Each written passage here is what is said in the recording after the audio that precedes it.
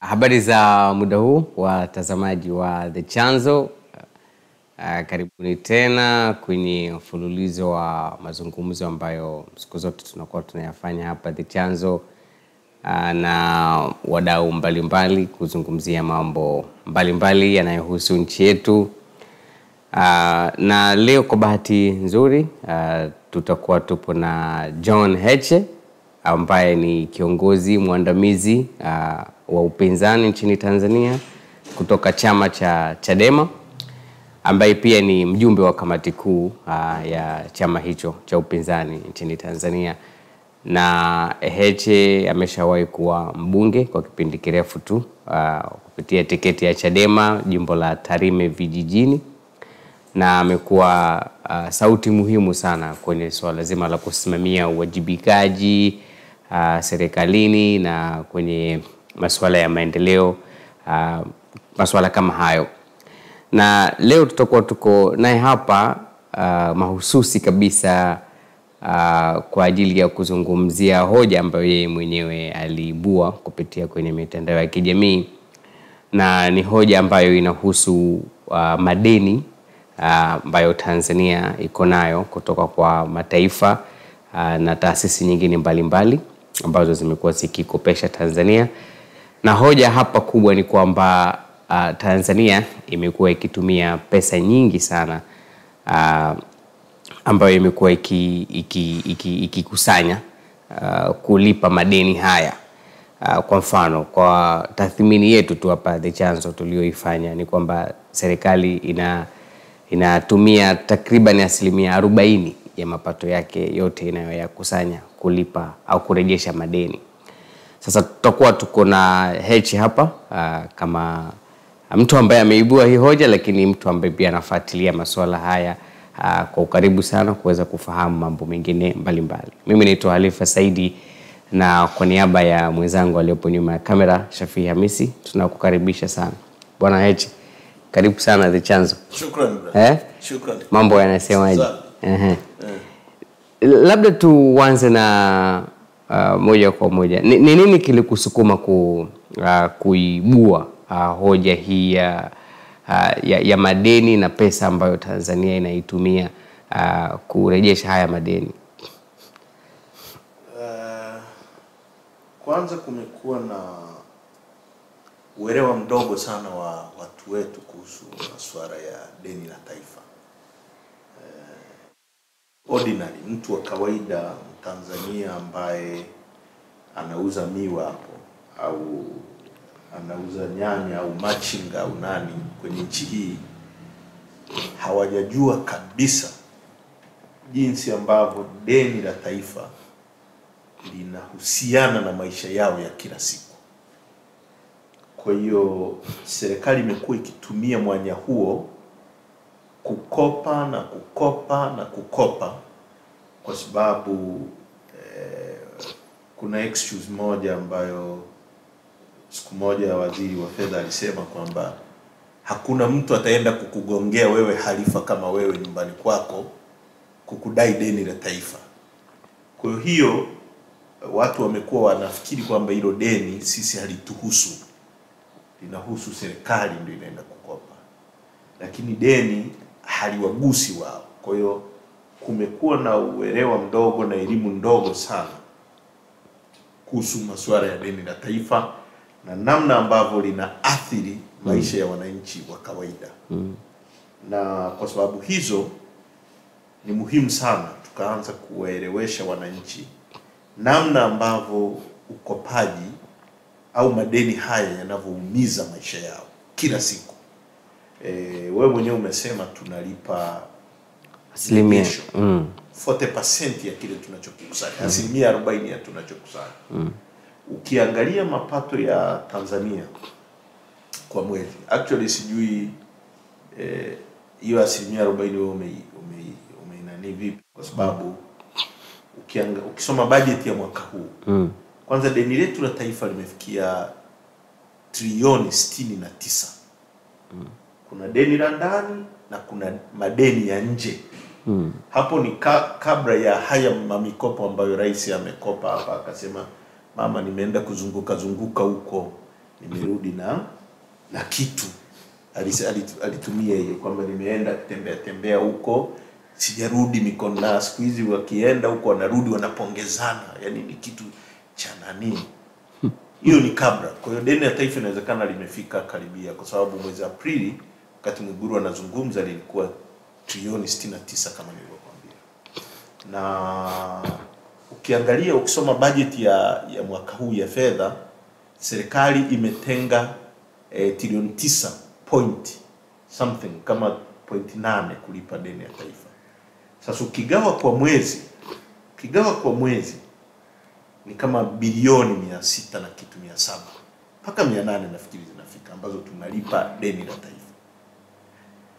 Sasa ukichukua makusanyo ya nchi, ukichukua makusanyo yanayotolewa na TRA kwa mwezi TRA inasema tumekusanya trilioni moja pointi mbili trilioni moja pointi tatu kama wanakusanya trilioni moja pointi tatu au mbili bilioni mia nane au mia saba na kitu zinatumika kulipa deni la taifa. Kwa hiyo yani serikali inakusanya trilioni moja nukta mbili au tatu, bilioni mia nane inalipa deni la taifa, inabaki kama bilioni mia tano na kitu ya mia, mia sita sio? Mm. Ukitoa elimu bure ambayo tunaambiwa kwamba wanatumia trilioni bilioni 30 kwa mwezi, inabaki bilioni mia tano na kitu. Ukichukua wage bill, mishahara ya walimu, askari na nini, kila kitu kimeisha. Mm. Sasa unaendeshaje uchumi? Sasa hapo ndio tunakuja sasa kwenye jinsi ambavyo hili deni nchi yetu, yani unakuwa kwenye ufukara na unakuwa kwenye hiyo hiyo cycle ya ufukara, huwezi kujitoa huko, kwa sababu kama unakusanya pesa na zote zinaingia kwenye matumizi, huwezi kufanya saving, huwezi kudevelop mradi mpya. Ili serikali idevelop mradi, lazima tena ikakope ili ianzishe mradi, ianzishe barabara, iweke maji, ifanye nini, kwa sababu fedha zingine zote wanazokusanya, na hapo hatujazungumzia mafuta wanayotumia kwa mwezi, hatujazungumzia ofisi osi za maofisi, hatujazungumzia magari. Ukiangalia bajeti ya mwaka huu, Mwiguru amesema serikali inatumia kwa mwaka bilioni 558 kununua magari ya viongozi ma VX wananunua mpaka wilayani. Kwa hiyo ndio maana sasa leo tunahitaji walimu kwenye mashule. Vijana wapo wamemaliza shule, wapo mtaani, sio kwamba hawapo, wapo. Hata tukisema leo shule zote zijae walimu, kama tuna fedha, wanajaa. Tune, hatuna upungufu wa walimu. Watu wamemaliza kuanzia mwaka elfu mbili na Magufuli aliingia elfu mbili na kumi na tano Mm. hakuajiri tangu elfu mbili na kumi na tano acha wale ambao Kikwete alikuwa na ajiri wanabaki kidogo. Magufuli aliajiri elfu mbili kumi na tano elfu mbili kumi na sita kumi na saba kumi na nane aliajiri kidogo kidogo sana, na mwaka huu ndio serikali ikatangaza ajira, ilikuwa mwezi wa ngapi? E, ilitangaza ajira kama elfu kumi na moja application, watu walioomba walikuwa watu laki sita na kitu Mm. mpaka wakafunga seva hii, yani imezidiwa watu elfu kumi na moja vijana wameomba laki sita. Sasa tangu kipindi hicho serikali haijaajiri kwa sababu hawana fedha za kuajiri, kwa sababu nimekwambia wage bill hii mishahara ya walimu, watumishi wa nini, ndio hiyo. Deni la taifa ndio hilo, elimu bure ndio hiyo. Sasa nini kinachobaki kwenye kuajiri? Hatuwezi kuajiri manesi wa kutosha, hatuwezi kuajiri madaktari, hatuwezi kujenga madarasa, tunasubiri tutoze tozo. Hatuwezi kujenga madarasa, tunasubiri fedha za COVID. Wengine walizipeleka pesa za COVID relief ambazo walipewa na na World Bank na nini, wengi walizipeleka kwenye kubeira uchumi wao uanze kuroll. Kenya waliweka kwenye maviwanda, watu wenye viwanda ndio walienda kukopa ili uchumi uanze kuroll, ajira iwepo. Sisi tulipeleka kwenye kujenga madarasa Mm. kwa sababu hatuna fedha. Fedha nyingi zinakwenda kwenye kulipa kuservice deni, kwa sababu usipowalipa hao wazungu wanakufungia wanakufungia mikopo na wewe huwezi kujiendesha. Sasa Watakufungia, huwezi kupeleka bakuli omba omba huko, Wakikisha kufungia umeisha. Kwa hiyo Kitu cha kwanza ambacho watu wa serikali wanahakikisha wamefanya ni hela ya wazungu wakawalipe madeni wanayokopa. Sasa swali Ndivyo hivyo deni la taifa linavyoathiri mwananchi wa kawaida. yeah. Hauwezi kujenga barabara mpya, huwezi kupelekea watu maji, watoto wao walioko mitaani hawezi kuajiriwa kwa sababu fedha nyingi zinatumika kulipa deni la taifa. mm Kama tungekuwa tunakusanya hizi fedha zote na zipo zingekuwa zinabaki Tanzania kwenye circulation yetu, tungeweza kufanya haya mambo, lakini watu walioko madarakani hawana upeo, wao ni kukopa na kuongeza deni, na deni inazidi kuwa kubwa lakini sasa u, tunakopa kufanya nini kwa sababu kwa mfano kwa mfano kama mimi nikiwa nakopa mm. uh, unakuja kuanzisha biashara mm. biashara inaendelea mm. uh, hakuna ubaya kurejesha Yes. uh, kurejesha mm. uh, mkopo wa watu mm. kwa sababu hivyo maisha ndivyo alivyo si kila mtu anajitosheleza sasa sisi kwa mfano kama nchi uh, tunakopa kufanya nini na hivyo vitu viko eh. Hapo sasa ndio tatizo linapokuja. Mm. Nimekuambia kwa sababu wananchi hawafuatilii hizi pesa zinazokopwa mm. na kwa sababu hizi pesa zinakuja kwa pamoja, watu walioko serikalini wanaziona kama ni pesa wamepewa hisani. Ndio hapo sasa kwamba mimi juzi nilikuwa Itali E, waziri wa Itali anakuja kwenye kufungua mkutano, anakuja na baiskeli, anaendesha baiskeli, afu wewe una, unamkopa. Wewe unatumia VX VXR ya 2022 magari ya mwaka. Mwananchi wa kawaida Tanzania, wafanyabiashara wakubwa hawa hawawezi kununua magari hayo mapya.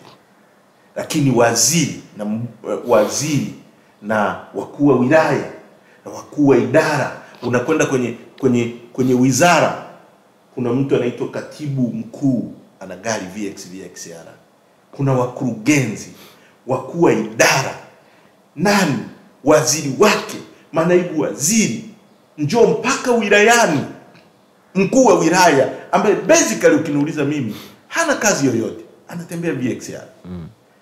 service ya hii gari ni baraa. Kwa hiyo unakopa kwenye kufanyia kazi ambayo sio productive. Na nataka nifafanue hili jambo kwa sababu limekuwa linaleta maswali mengi sana kwa watu wasiojua swala la magari. Mimi nimekuwa niki, nikiandika sana kukosheni watu wa serikali kuhusu matumizi ya umma. Sasa kuna watu wasiojua, wengine wanajua lakini wanapotosha eh, wanatumiwa na, na, na watawala au kutaka kujipendekeza waonekane. Mtu anakuandikia anasema, mbona wewe ulipokuwa mbunge hukupinga eh, eh, kutumia magari ya VX? Kuna tofauti kubwa kati ya mbunge, gari linalotumiwa na mbunge na gari linalotumiwa na waziri. Unapokwenda bungeni unakopeshwa pesa wewe kununua gari unayotaka wewe, lakini kuna ceiling. Wakati sisi tunaenda ceiling ilikuwa milioni tisini ndio pesa ulioweza Ukomo. Mm. ukomo mm. milioni tisini, huwezi kukopa zaidi hapo ya gari, na hiyo hela unakatwa kwenye mshahara wako, unalipia lile gari. Lile gari likiharibika, serikali hailitengenezi, unatengeneza wewe. Ndio maana pale bungeni kuna wabunge wengine wanatumia gari za kawaida kabisa, na kuna wengine wanatumia sana, kwa sababu hiyo burden, huo mzigo, kwanza wa deni, pili wa kuendesha hilo gari, service, vipuri, tairi, kila kitu linakuwa ni hera yako mwenyewe. Gari la waziri, gari la mkuu wa wilaya, gari la nani la viongozi wa serikali, yote kuanzia tairi, dereva, huduma yake, service ya kila mwezi, inatumika pesa ya mlipa kodi maskini. Kuna rudi pale uliposema kwamba tunakopa pesa nyingi, lakini hazionekani ziko wapi na zimefanya nini, kwa sababu tukijiuliza tu kuacha madeni ambayo tumelipa yetu kwa mwaka huwa ni kama mwaka bajeti ya mwaka huu ilikuwa trilioni 33. Sasa tunadaiwa dabo, yani yani deni tulionalo ni bajeti yetu ya miaka miwili ikiwa full funded. Nikisema full funded maana yake ni kwamba eh, unajua sisi huwa budget tunapanga mahoteo tofauti na Ulaya au Marekani. Marekani wanapanga bajeti tayari wana fedha, wakisema tutajenga barabara kutoka Sinza mpaka hapa kwa kusini, pesa inakuwa allocated. Sisi unaotea unasema tutajenga barabara ya Sinza mpaka eh, hapa Kinondoni tutajenga hospitali Sinza, tutafanya nini, tutafanya nini, alafu baadaye unaenda kuomba mkopo kwa wazungu. yani una budget alafu una mia alafu unaenda kuomba mzungu. Mzungu akikunyima, kwa mfano sasa hivi wana ugomvi eh, wa, wazungu wanapigana kule na, na, na Putin amedisturb dunia. Kwa hiyo wanakuambia sisi hatuna hela, hela zote tunaelekeza kwenye nani. Kwa hiyo nani budget nani mpango wako uliopanga utekelezeki. Mm. Ndio maana ukiangalia vitu vingi ambavyo serikali inapanga vya kibajeti havitekelezeki. Wanatekeleza tu labda eh, 40 30% kwa mwaka. Kwa hiyo hoja ni kwamba kukopa sio tatizo.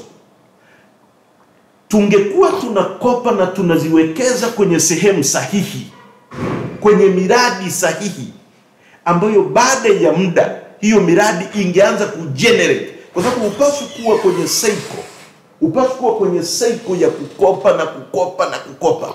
Hata unapokopa kwenye benki, unapofanya biashara, unatakiwa ukope huku unakuwa, sio deni linaongezeka. Kwa sababu kwa mfano Mwiguru anasema mwezi Aprili alipokuwa anahutubia bunge, anasema deni liliongezeka kwa asilimia kumi na nne. Kwa deni la taifa lilikuwa eh, kwa miezi kwa miezi mingapi? Kwa, kwa mwaka wa bajeti wa mwaka jana 2021 deni lilikuwa trilioni 60 mwaka huu liko trilioni 69. Bajeti atakayosoma mwaka huu litakuwa kubwa zaidi, kwa sababu mama kila siku anakopa. Tunaambiwa mama yuko si wapi, amepewa si trilioni ngapi, watu wanapiga makofi. Sio za bure, ni pesa za mkopo. Sasa zinawekezwa kwenye nini? Ndio hizo sasa zinatumia kwenye vitu nonsense. Unaangalia ripoti ya CAG mwaka huu inasema kuna upotevu wa pesa zaidi ya trilioni tano, yani hazikuwa accounted for, yani matumizi yalifanyika, lakini hakuna risiti, hakuna kwa mfano wanasema tulichimba kisima, hicho kisima hakionekani. Wanasema labda tulifanyia gari service, risiti za hiyo service halipo. Kwa hiyo ndio hizo sasa tunakopa zinaingia kwenye mifuko ya watu mm. na matokeo yake ni athari kubwa zaidi kwa mko, mkopeshaji huwa hajali yani hajali kwamba uh, pesa unayomkopa unaenda kuifanyia nini. Kwa mfano tuchukulie mtu kama World Bank benki ya dunia au taasisi nyingine za kukopeshaji au mataifa mengine matajiri ambayo yanaikopesha Tanzania. Huwa haijali Tanzania inakopa kwenda kufanya nini na pengine kuna ufuatiliaji wowote labda kuhakikisha kwamba uh, kile ambacho Tanzania imesema inakopea inaenda kukitekeleza. wazungu, nikitaka kutumia neno sahihi, wazungu wangependa Waafrika waendelee kuwa maskini ili watumie umaskini wao wa Waafrika kujiendeleza zaidi wao. Ujinga mwingi sana unaofanywa na viongozi wa Afrika wanafanya ufisadi mkubwa, wananunua majumba kule, wanafanya nini, wananunua, wanajenga mahoteli Ulaya na nini, inawafaidisha wao. Mabenki, World Bank, I mean, kwa mfano benki kama IMF Mm.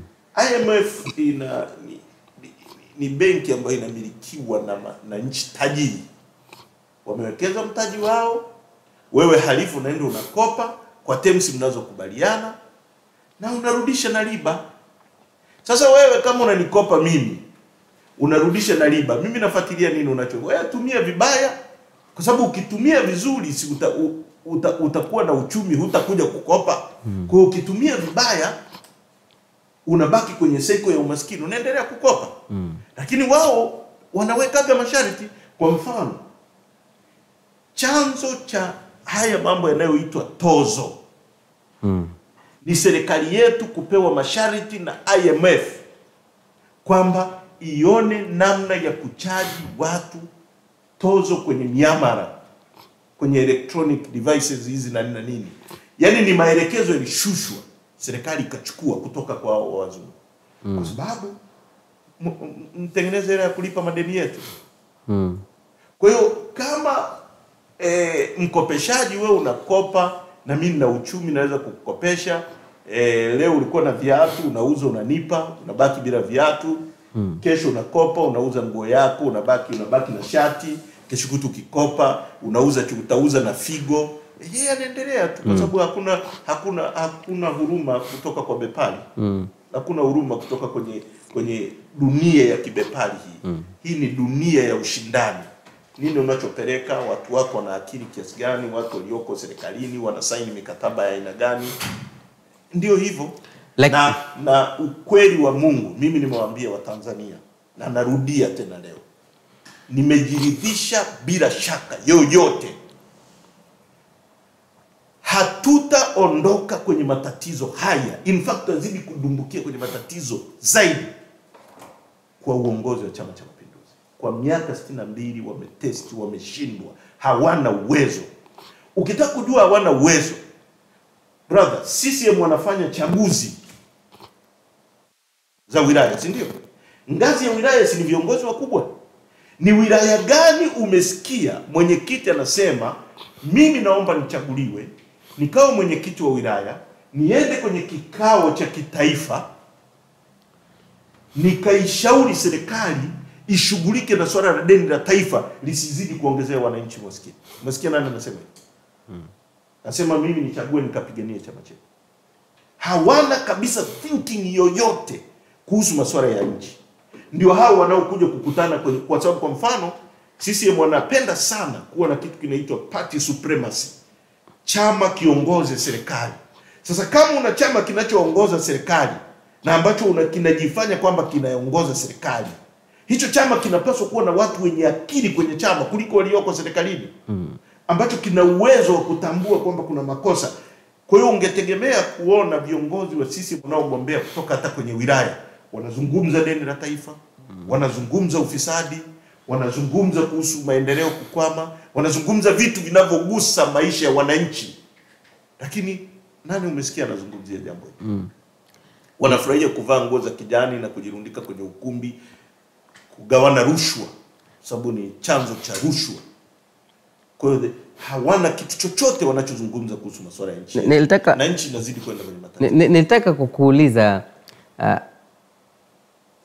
kuhusiana na kitu kinaitwa uh, deni himilivu au uhimilivu. Tumekuwa tukisikia hata bungeni wanazungumza deni linaongezeka, lakini deni letu ni, ni, ni himilivu, ni himilivu. Ni ni nini kinaamua au nini tunaweza kukitumia kusema kwamba hili deni ni himilivu, hili deni si himilivu? na kwa mfano ni kweli kwamba deni letu la taifa kwa mfano kwa kiwango ambacho ambacho wewe ume, umekizungumzia ni kweli ni himilivu kama ambavyo serikali inasema Brother, nimekwambia kwanza, tuna watu wasiokuwa na uwezo kabisa. Kuna unakuwa na waziri wa fedha na mipango ambaye amepata hicho cheo kwa sababu ya kuvaa manguo na bendera ya taifa na nini, hana uzalendo, hana uwezo eh, hawezi kututoa hapa kwa sababu hana plan. Eh, ukisema deni ni himilivu, maana yake nini? Kama unakusanya kama makusanyo yako asilimia mia moja 40% kabla hujaanza chochote umeshalipa eh, umeshalipa deni, unabaki na 60%. Unanielewa vizuri? mm. Ukibaki na 60% unalipa mishahara ya watumishi na wafanyakazi zaidi ya 40% nyingine. Unanielewa vizuri? mm. ujaingia kwenye OC si ni nini pesa za matumizi ya kuendesha ofisi zile ambazo wana wanatengeneza zile, unasikia kwa mfano, kuna juzi walisema watapunguza na chai kwenye maofisi mm. chai, sivitumbua kununua magari, kuweka mafuta ya magari, servisi za magari mm. yale matumizi ya kawaida ya, ya ofisi yale ya kuendeshea ofisi, kununua limu na vitu kama hivyo yeah. na una kitu kinaitwa elimu bure hapo na bilioni 30. Sasa uhimilivu wake upo mm. kwa sababu kama lingekuwa himilivu si zingebaki na pesa za maendeleo sasa za development Mm. kwamba tumetumia kwa sababu hata wewe nyumbani kwako bajeti tu ya kawaida ya nyumbani kwako uhitaji kuwa na kutambua hili jambo kwa kutumia mfano wa serikali. Kama wewe halifa mshahara wako una unautumia kwenye kulipa madeni na kwenye matumizi ya anasa huwezi hata kununua tofali. Watoto wako wanakuona wewe ni baba wa aina gani. Kwa sababu kwenye mshahara wako unapaswa ufanye mambo mengine yote, lakini uwe na uwezo wa kusevu, ununue kiwanja leo, kishukutu kutu ununue tofali, siku nyingine unue simenti, uweke room mbili kama hizi za watoto wako kaa.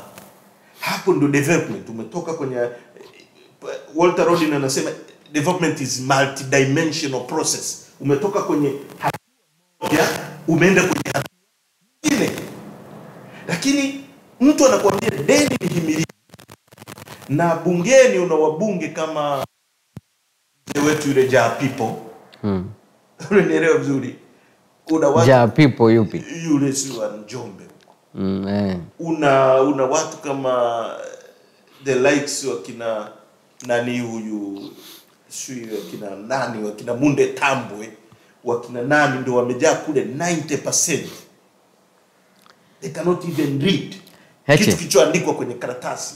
Kwa hiyo wanakuja wanaambiwa tu kwamba deni ni himirivu mm. they crap Heche. hawaelewi implication ya, ma, ya mambo haya kwenye maisha ya mwananchi wa kawaida ni mabaya zaidi. Implication ya deni la taifa ni kuwanyima vijana ajira, ni kunyima nchi yetu maendeleo, ni kushindwa kurealize dream zetu kama nchi, kwa sababu kila kitu tunachokusanya asilimia 40 kinakwenda kwenye kulipa deni ambalo watu wamekopa na wakatumia vibaya Yeah. na wanazidi kukopa.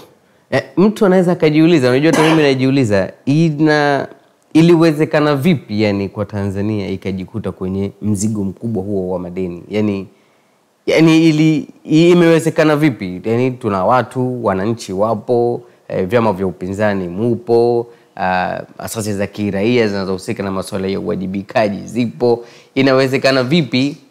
Well, Chama cha Mapinduzi kipo ambacho umesema ndio pate supremacy kinaiongoza serikali.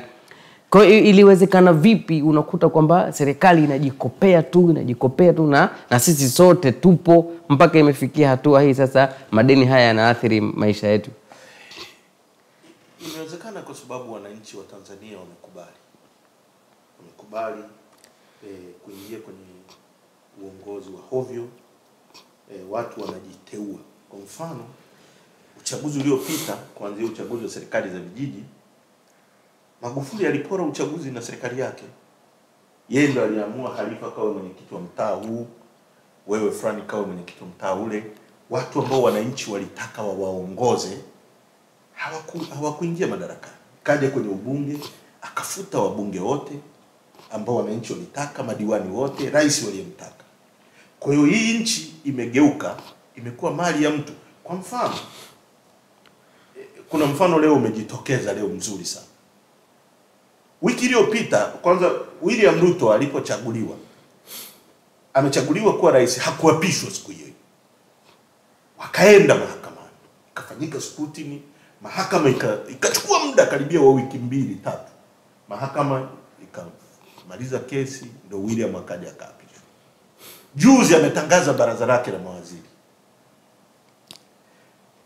Yeye ana mandate ya kukuteua, kukupendekeza, kukupendekeza Kupendekeza. Nimekupendekeza. Baadaye unaenda bungeni, kwa sababu wanaamini bunge ni chombo cha wananchi, kimechagua mtu. Sasa unakuja wewe mwenyewe pale bungeni, wanakuita bwana Halifa, njoo Mteule, waziri mteule e, mteule. Rais amekuteua kuwa waziri wa fedha amekupendekeza. amekupendekeza uwe waziri wa fedha, lakini sisi wabunge, mi nasimama kutoka Tarime, huyu anasimama wapi wapi. We Halifa, tunakujua we ni mwizi. Ulipokuwa mkurugenzi kwenye ofisi fulani, ofisi yako ilitokea tatizo hili, ripoti ya CAG na hii hapo, unasemaje? Mm. Unajieleza we bana, umewahi kufanya hivi, we umefanya hivi, uadilifu wako uko kwenye mm. matatizo. mm. We bana, rais amekuteua kwa sababu wewe ni mjomba wake Mm. huna uwezo wa kuwa waziri wa fedha kwa sababu waziri wa fedha kazi zake ni hizi. Au wewe tuambie malengo yako na focus yako, kwa sababu kama waziri wa fedha ni yapi, kwa sababu waziri wa fedha ndio ndio ndio waziri namba tatu baada ya waziri mkuu, yaani baada ya rais anafuata makamu wa rais, anafuata wa, wa, waziri mkuu, alafu waziri wa fedha ndio mm. top minister Mm. ndio ana plani zote za nchi, ndio ana matumizi yote ya nchi, anapaswa kuwa na uwezo mkubwa na mipango kwamba mimi bana eh, kwa mfano bandari ya Dar es Salaam haitumiki sawa sawa. Nikiwa waziri wa fedha leo, ukiangalia bandari ya Dar es Salaam kwa mfano, huu ni mfano halisi natoa, e, e, imepitisha mizigo tani milioni 17 mwa- mwaka 2020 2021 tani milioni 17.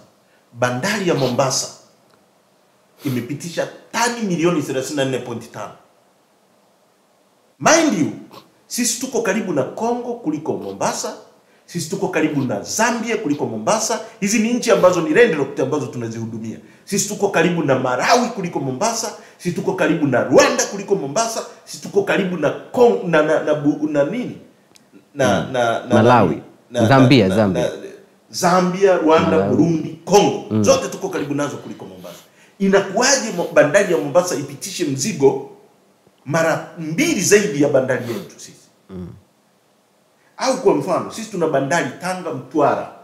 mm. Inakuwaje Halifa, mafuta yanakuja yanafika bandari ya Dar es Salaam yanasafirishwa kwa magari kwenda eh, eh, Zambia kusema. kwenda kwenda kwenda Tanga kwenda kaskazini Ah, mikoa ya Arusha, kaskazini Arusha. Tanga, Arusha, Kilimanjaro mm. na Manyara, wanaenda kununua mafuta kwa bei ya juu, wakati mafuta haya yamesafirishwa kupitia bandari ya Tanga. Magari ya Arusha yangechukulia mafuta Tanga. Tumefika hapo kwa sababu hata watu wanaoteuliwa, hata kama hana uwezo, akiwa mjomba wa rais, rais amevutiwa na yeye, akiwa mtoto wa dada yake, akiwa binamu yake, hata kama hana uwezo wa kuwa kitu chochote, akisha kuteua ndio unaenda kukaa pale. Lakini wenzetu Kenya, nimekwambia wiki mbili zilizopita, rais ameteua mawaziri, watapita bungeni wiki hii mm. watahojiwa. Kama kuna mtu bunge litamkataa, itabidi rais apendekeze mtu mwingine. Lakini jana sisi rais kateua mtu, sio mbunge, nikamteua kamteua, kamfanya amekuwa mbunge leo kamwapisha, yani jana hiyo kamteua nafasi mbili, yani kamteua ubunge, kamteua na uwaziri, alafu leo kamwapisha ni waziri. Sasa katika mazingira hayo tunashindwaje kwenda hapo? Pili, angalia balance of payment.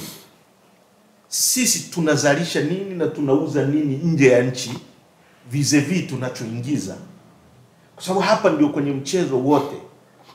Kama wewe Halifa una nchi kama ya kwetu, Mungu ametujalia kila kitu, ardhi tulionayo, ardhi tuna ardhi hektea milioni 29.5 a level inayolimika. mm. Sisi tunaweza kulisha nchi zote za kusini mwa jangwa la Sahara tukilima vizuri, tunaweza kulisha nchi zote hizo. Sisi wenye ardhi kama hii, sisi ambao tuna nguvu kazi kubwa kama nchi hii, vijana wazuri, tuna lugha moja kama ya Kiswahili ambayo inatuunganisha watu wote. Sasa nchi nyingine unaenda unakuta hapo wanaongea kama Kameruni walikuwa wanapigana, Yeah. kuna pati ya sehemu inaongea Kiingereza mm. na pati ya sehemu inaongea Kifaransa, Yeah. wanapigana kwa sababu ya lugha hiyo Yeah. lakini sisi tuna lugha moja inayotuunify. Tuna hekta ya milioni 29, tunaagiza ngano kutoka nje ya nchi asilimia tisini. Actually kuna mzee mmoja wa CCM aliniambia juzi, sitamtaja, kwamba nchi mojawapo tunayoagiza ngano kutoka ni Saudi Arabia. Yaani sisi Tanzania tunaagiza ngano kutoka jangwani. Yaani ukimuuza Bakresa atakwambia anaenda kuchukua ngano Saudi Arabia. Asilimia sabini, nimekwambia tunaagiza ngano asilimia tisini. Asilimia sabini kati ya hiyo ngano tunaagiza kutoka nchi ya Ukraine na Russia. Kwa kwa mfano sasa hivi Russia wanapigana na Ukraine, watu wetu wataanza kufa njaa. Okay. Sasa katika mazingira hayo unashindwaje kufika? Mm. Lazima tuwe na uwezo wa nchi kuzalisha, kuwekeza kwenye uzalishaji, hasa kilimo, ili tuweze kubalance pesa nyingi ambazo tunatumia kwenye kuagiza vitu kama ngano ambayo tunaweza kujilimia, hiyo pesa ibaki kwenye circulation mm. Mafuta ya kura mikoa hii ya Singida, Dodoma, tuwekeze kwenye mafuta ya kura. mm. Ukimsikiliza Hussein Bashe ni mtu ambaye ana ahadi anataka kufanya na nini, lakini sasa yuko kwenye yuko kwenye grupu ambalo hawezi kufanya vitu anavyofikiria kufanya, hawezi kuwekeza kwenye kilimo kwa sababu kusema tu ni kusema, lakini tutakuja kwenye reality sasa kwamba bajeti yake ni kiasi gani Mm. umempa bajeti kiasi gani unahitaji tangu vita kuu ya pili ya dunia Mm. bidhaa pekee ambayo haijawahi kushuka bei ni bidhaa ya nyama ni nyama. Mm. sisi tanzania nchi kama eh, botswana inasafirisha nyama kuliko sisi. Botswana nusu ya nchi hiyo ni jangwa. Namibia kwenye jangwa la karahari pale wanasafirisha nyama kuliko sisi. Wana watu milioni mbili nukta tano namibia. Wana ng'ombe zaidi ya milioni kumi yaani ng'ombe wana ni mara nne ya watu walioko Namibia. Wanasa, ndio nchi pekee in fact ya Afrika ambayo imeruhusiwa kuuza nyama moja kwa moja kwenye soko la Marekani kwa kumiti standard zao. Namibia, sisi Mwalimu aliacha kiwanda kama cha Tanganyika Packers, leo umegeuka kuwa ni eneo la mtu kusalia, badala ya kuwa productive area. Pale kungekuwa na vijana elfu ishirini wameajiriwa pale Mm. kungekuwa na, na, na ngozi zinarekebishwa pale zinasafirishwa ku, ku, kutengeneza mikanda tungekuwa tunasafirisha nyama ukienda kwenye ma, ukienda kwenye supermarket Uingereza unakuta product of Tanzania Mm. ya nyama ni eneo kuna mtu anaitwa nani yule anayewaambia watu wanunue maji wataenda mbinguni Mamposa. Mwamposa ndio anasalia pale mm. Ukienda kiwanda cha nyama alichoacha Mwalimu Shinyanga, Mbeya, vyote ni magodown Mm. katika mazingira kama hayo unatengenezaje balance of payment kwenye nchi yako Mm. ukimuuliza rais rais samia. Nini? Nini? Mwelekeo wako yani focus yako ni nini? Unataka kuachieve nini baada ya miaka ulionayo serikalini? Haki ya mungu mimi nafikiri rais yupo amalize muda wake. Sidhani kama ana kitu clear kabisa ambacho kinajidefine kwamba mimi baada ya miaka mitano nimekuta watu milioni ngapi ni maskini? Nataka nikitoka. Kuna ile general objective na specific objective nataka niwe nimeachivu hiki nataka niwe na vijana kadhaa ambao nime ni, wametoka kwenye umaskini nataka niwe na vijana kadhaa niwe na nasafirisha labda ng'ombe nyama ya ng'ombe niwe nasafirisha madini kwa kiwango hiki sidhani kama hiyo serikali ina hii serikali Ana 4R. Rais ana 4R. hata moja tu hiyo ya, ya reform Ana reform, yeah. reconciliation. hiyo yeah. tu ya reconciliation hiyo ya reconciliation tu ni tatizo kwake. Mm. reconciliation mm. una reconcile vipi na watu kwa mfano sisi unatuzuia kufanya mikutano ya hadhara ambayo mm. ipo kisheria. Sheria namba tano ya mwaka 92 inasema tufanye mikutano ya hadhara. Mpaka sasa tunazuiliwa na polisi. Ana reconcile na nani? Mimi nime niko interested sana na masuala ya mazingira. Na naumizwa sana na nchi kwa sababu pamoja na umaskini tulionao nchi yetu itaingia kwenye matatizo makubwa zaidi kwa kadri mazingira yanavyozidi kuharibika na mabadiliko ya tabia nchi yanazidi kuwa makubwa mm. yameathiri sana Ulaya ukifuatilia jinsi ambavyo dunia inaenda e, hewa ya ukaa ambayo imetolewa na maviwanda kwa sababu Afrika nzima inatoa only 2% kuchangia kwenye uchafuzi wa mazingira na, mm. na, na, na universe huko huko angani mm. na kutoa ile hewa ya ukaa inayoenda kusababisha e, milima kuyeyuka. Kwa mfano mlima Kilimanjaro kuna theluji, theluji inakaribia kuisha. E, maeneo ambayo e, yalikuwa na majani kipindi kilichokuwa huko nyuma, leo hayaoti majani. Mvua wak- wakati mwingine zinakuwepo, mvua hazitabiriki. Zamani kwa mfano mimi wakati nakuwa Tarime tulikuwa tunajua kabisa misimu ya mvua ni miwili, na sisi tulikuwa tunalima misimu miwili. Unajua kabisa mvua inaanza muda fulani mpaka muda fulani. Kwa mfano mvua ilikuwa inaanza mwezi wa e, wa nane, wa tisa, wa kumi, watu wanapanda wanavuna, wa kumi na moja wanaanza tena mwezi wa pili wanalima, kunakuwa na mvua hapo mpaka mwe... kwa hiyo Tarime mvua zilikuwa zinyeshi labda miezi miwili. Sasa hizi huwezi kupredict tena. Kuna mwaka zinanyesha sana, kuna mwaka hazinyeshi, sehemu nyingine ni baraza hivi mm. e, ukiangalia maji yanazidi kupungua wakati mwingine sehemu ambazo ilikuwa visiwa vimemezwa na maji e, ukipita kwa mfano kupe mfano halisi miaka sita nyuma ulikuwa ukivuka Morogoro mjini unaenda Dodoma, ukivuka Mvomero unaanzana na maeneo hayo ni poli, miti mizuri na nini. Leo miti yote imeangushwa, imekuwa mkaa.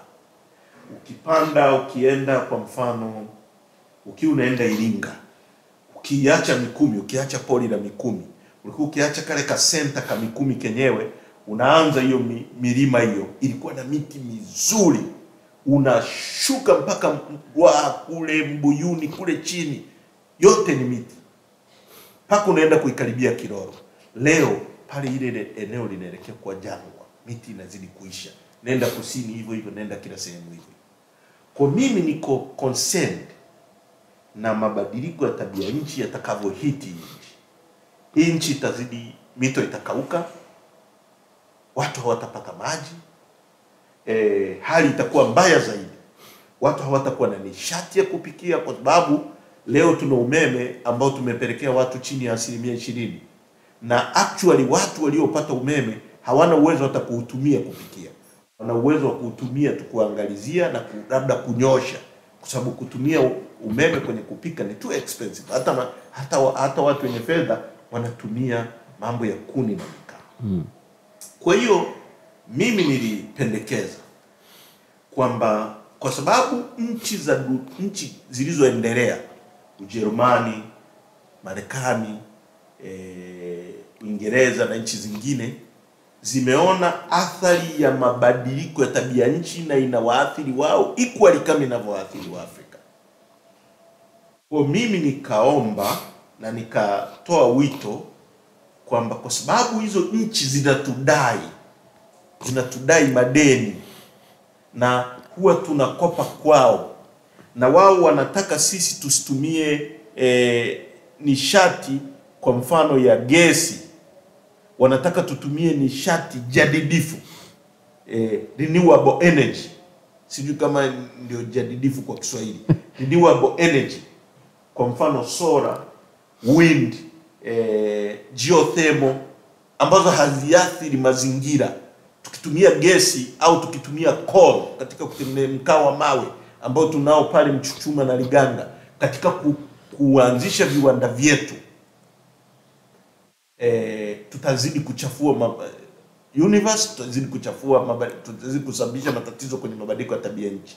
Kwa mimi nikawaambia kama wazungu wanataka sisi tuende kwenye renewables, wakati wao wame, viwanda vyao vimetumia nishati nafuu kama eh, coal na gesi katika kujijenga na wamekuwa na maendeleo makubwa, wakubali kusamehe madeni wanayotudai, lakini haya madeni yakisamehewa yaende specifically kwenye kuzalisha nishati ambayo itaokoa ukataji wa miti.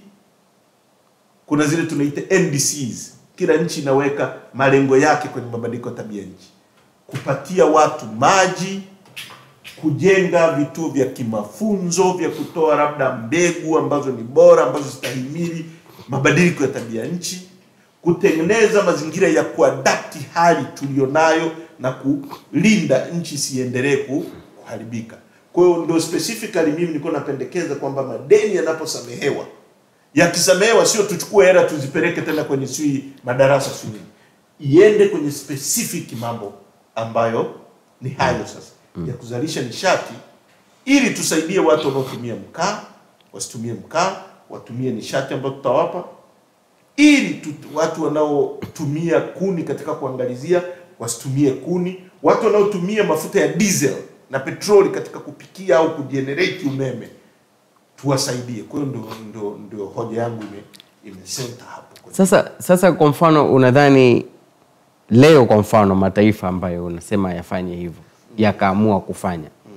unaamini kwamba serikali yetu inaweza kuzielekeza hizo pesa kwenye hayo maeneo unayoyataka Na wewe? kwa sababu hizi hela ni za wazungu, ukikusanya unawapelekea wao Eh. wao wanaweza kuziring fence, nyie mka budget Mm.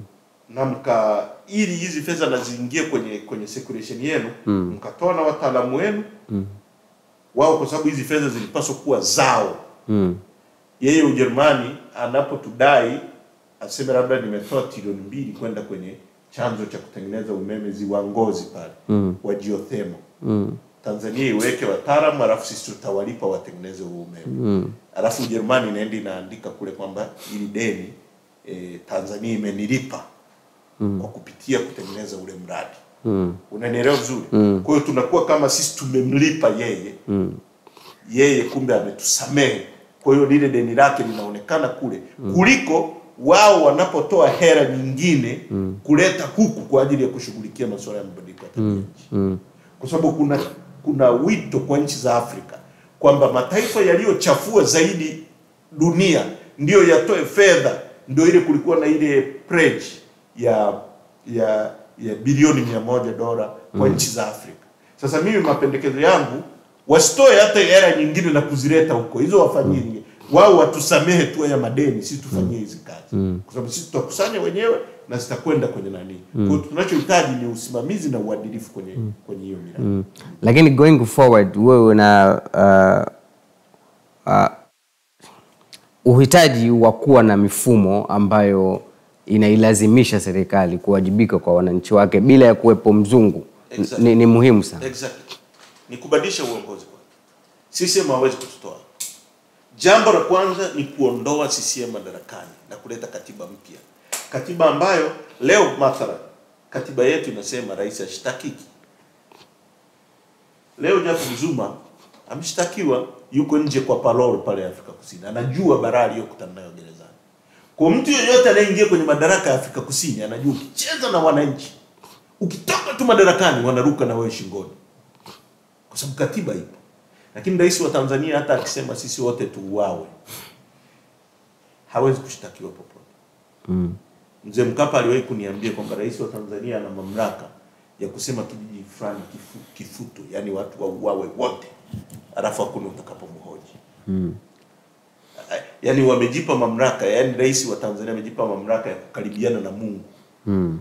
Sasa rais ana kinga eh, akajitungia kinga na na chief justice. Hebu Yeah. fikiria Yeah. chief justice, mtu chief justice unajipa kinga. Hata Kongo ya Mobutu haikuwahi kutokea hiyo. Chief justice wa Tanzania ana kinga dhidi ya mambo atakayoyafanya akiwa madarakani. Chief justice mtu wa kutoa haki. Wewe unafanya mambo gani ambayo yanahitaji kinga? Spika wa bunge anakinga kwenye nchi. Sasa kwa msingi huu nani atawajibika? Kwa sababu binadamu alivyoumbwa wana Halifa ni kiumbe greedy, mwenye uroho, mwenye nini. Kinachomdhibiti binadamu ni sheria. Tusingetunga sheria, binadamu angezaliwa na mama alafu angetembea na mama yake. Kinachozuia mambo yasitokee ni sheria na makuzi ya watu. Don't, don't, don't do do do. Naendelea vizuri Mm. sheria zi, ziwepo zinazokataza Mm. kwa binadamu. Ukimwekea mali ukaweka hapa pesa katika disposal yake na usimdhibiti, atachukua hizo pesa lakini ukitunga mfumo ambao anajua ukipeleka mkono kuchukua hela zisizokuwa za kwako, vidole vitabaki pale, hawezi kupeleka pale mkono mm. nchi ya Tanzania kwa sheria zilizopo na chama kilichopo madarakani kinapalilia impunity. In fact unapeleka mtu mzuri CCM, kesho anakuwa nyang'au, kwa sababu asipoiba wanamshangaa, kwa sababu kila kitu kiko pale cha kuiba. Mm. Ndio maana nchi miaka 60 ndio unaniuliza deni linazidi kupanda. Mm. Tunaagiza ngano sisi Tanzania, haiwezekani katika mazingira ya kawaida. We have everything Mm. brother. Hii nchi inaweza kuwa super power ya Afrika mm. na maandishi hapo. Ukifungua hii bandari tu ya Dar es Salaam, Kagame alisema mm. akipewa bandari ya Dar es Salaam mm. anailisha Eastern, eh, Eastern Central Africa zote Mm. Afrika Mashariki na Kati analisha Mm. kwa kutumia hii bandari. Mm. Pale umesema kuna haja ya kubadilisha uongozi ukimaanisha kwamba Chadema inabidi mwepo madarakani. kabisa. Mm. Na una nini ngoja nini kinakupa matumaini kwamba kwa mfano Chadema ikichukua uh, uongozi wa nchi mambo yanaweza yakawa tofauti. Nini kinakupa imani? Jambo la kwanza, tutatengeneza katiba ambayo itaunda taasisi ambazo hata mtu yoyote wa Chadema akitaka kudokoa tutashughulika naye. Rais Samia anasema anaenda kuwapa katiba. Hawezi, hana dhamira hiyo. Angekuwa na dhamira hiyo, rafiki yangu, hayo mambo tungeona yameshaanza kufanya. Vitendo vya Samia anatamani kuwa yeye, anatamani kuwa kama Magufuli, anata... yaani ndio maana nimesema rais ameshindwa kujidefine yeye ni mtu wa aina gani, nini hasa anachotaka, nini anachotaka kuachivu kiuchumi, iwe clear hata kwa mtoto mdogo, akiamka ajue. Mimi Heche kwa mfano, mimi nakwambia Alifa, nikiwa rais wa nchi watu wanajua nitawekeza kwenye kilimo, nitawekeza kwenye ufugaji na uvuvi.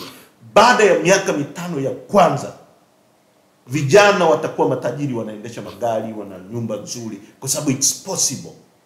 Tutasimamia sheria. Kwa mfano, tulitunga sheria ya ulinzi wa rasilimali za umma kwamba mkataba wowote ambao serikali yetu inaingia na makampuni ya kimataifa kwenye gesi, kwenye uvuvi, kwenye madini, kwenye nini, ndani ya siku sita za mwanzo za bunge linalofuata mikataba ipelekwe bungeni.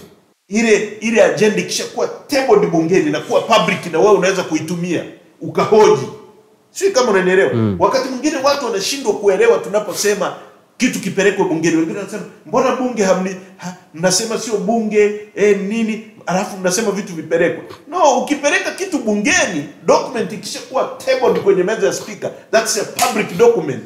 Kwa hiyo unaweza kuitumia hata wewe, lakini kama haipo pale huwezi kuitumia. Kwa hiyo wakati mwingine tunasema document ziende bungeni, sio kwa sababu tunaamini hili bunge la lililoiba uchaguzi kwamba linaweza kufanya chochote, lakini kitu kikiingia pale kitakuwa kwenye disposal yetu, tunaweza kukipata na tukahoji kupitia hapo. Mm. mm. Hawafuati sheria. Okay. Sheria ipo ya ulinzi wa rasilimali Unconscionable Terms ya 2017 kifungu cha sita iko stipulated very clear. Hawafanyi hivyo. Sasa watu kama hao hawawezi kusaidia hii nchi kusogea mbele. Kwenye uchumi nini tunataka kuachieve? Kwenye siasa, demokrasia nini tunataka kuachieve? Kwenye utamaduni, mazingira, hivyo vitu vikiwa wazi utaendesha nchi kwa urahisi, kwa sababu una malengo. Umejiwekea kwamba nikifika pale ninunue baiskeli, nikifika pale nitanunua pikipiki, nikifika pale, na njia za kwenda unaziweka na zinaonekana. Sasa ukiwa nchi inajiendea tu, haya, juzi Magufuli alikuwa anatuambia hivi, leo tumepiga batani, rais haelewi, yuko vuguvugu, anataka demokrasia, hataki demokrasia, anasema mimi nitaruhusu mikutano. Mikutano si uhitaji hata kuruhusu. Zuio la Magufuli lilikuwa batili, rais Samia unapaswa ujitofautishe na Magufuli, U, uambie dunia nimekuta mikutano imefungiwa, kuanzia leo IGP watu wafanye mikutano, waiweke serikali yako kwenye tozi, iwajibike. Kwa nini mnaogopa watu wasiwahoji? Kwa sababu hamtaki kuwajibika, hamtaki kuwa responsible. Wanajua Heche akifanya mkutano Kinondoni hapa atawaambia watu mnavyokopa deni, tuwazibe. Na wananchi sio wajinga, kuna njia nyingi tu za kuwasiliana. Kesho tukienda Tarime tutahoji kuhusu wizi wa, wa kuhusu namna madini hayatumiki kwa watu. Kesho tukienda Mwanza tutahoji kuhusu ambavyo wanashindwa kuwekeza kwenye uvuvi. Kwa hiyo haya ndio mambo ambayo serikali inayaogopa, lakini kama wangeruhusu mikutano ya hadhara, actually tungewasaidia kwa sababu tungekuwa tunaongea jambo ambalo wanaweza kulichukua wakaliweka into practice. Lakini leo Magufuli alijidanganya hivi hivi miaka mitano akatufungia mikutano. Lissu alipoanza mikutano ilibidi apole uchaguzi. Rais Samia atakuja kushangazwa na Watanzania kwenye uchaguzi. Najua anahitaji kugombea, lakini Watanzania watamshangaza sana. Ni bora angeacha mikutano, aanze kujipima mapema, though chama chake kisha kufa, lakini aanze kujipima mapema, wananchi wanamchukuliaje. It's very dangerous kufungia watu kwenye box na wakaja wakachomoka wakati wa kampeni. Ni muda mfupi sana kwao kujibu hoja hizi. Uh, mi nadhani uh, rais ata, atakuwa anakusikiliza na I hope anaweza akafanyia kazi ushauri wako, ila uh, sisi itabidi tukomee hapa. Uh, ilikuwa ni faraja kubwa sana kwetu sisi brother Heche uh, kuja ofisini kwetu na kufanya mazungumzo na sisi uh, tunashukuru sana na nadhani hiyo nia ya kuja kuwa rahisi siku moja ya nchi mungu akujalie itimie Shukrani. Ah. Nia yetu ni, ku, ni njema na nchi, tunataka hii nchi ibadilike, watu wetu waishi vizuri. sawa sawa sawa sawa mtazamaji basi mpaka kufikia hapo ndo tumefikia tamati uh, ya mazungumzo ambayo tumekuwa tukiyafanya hapa na john heche uh, heche kama tunavyomfahamu ni kiongozi mwandamizi wa chama cha upinzani chadema ambaye pia ni mjumbe wa kamati kuu ya chama hicho na leo hapa ametuambia kwamba siku moja anatamani ajawe rais wa hii nchi.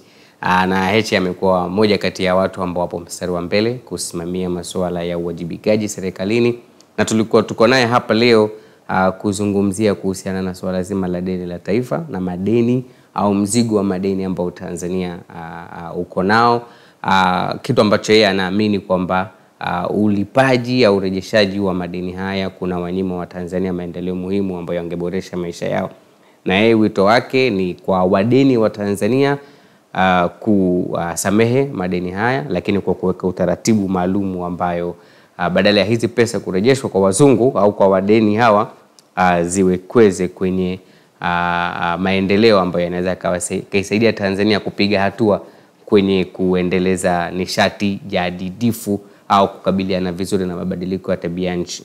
Lakini pia amezungumzia umuhimu wa uwepo wa mfumo ah, ambao utaifanya serikali iwajibike kwa wananchi. Amezungumzia swala la, la katiba mpya. Mpaka kufikia hapa ah, hatuna la ziada. Mimi nilikuwa na kuendesha mahojiano haya ni Alifa Saidi, na kwa niaba ya mwenzangu aliyekuwa nyuma kamera Shafii Hamis, tunakushukuru sana na kukutakia uh, kila la heri. Brother Heche, karibu sana bwana The Chanzo. Eh? Kila la heri bwana. Asante Ah, Asante sana. Asante.